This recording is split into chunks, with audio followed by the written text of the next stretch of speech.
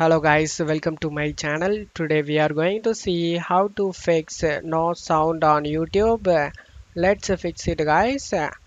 You just need to select the sound icon over here and make sure the sound is not muted.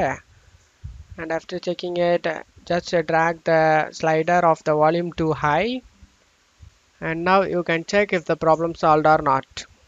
If the problem not solved let's move on to the second solution guys the second solution you just need to go to search menu and type sndvol.exe comes up run command click on open it. You need to make sure the browser you are running youtube is not muted.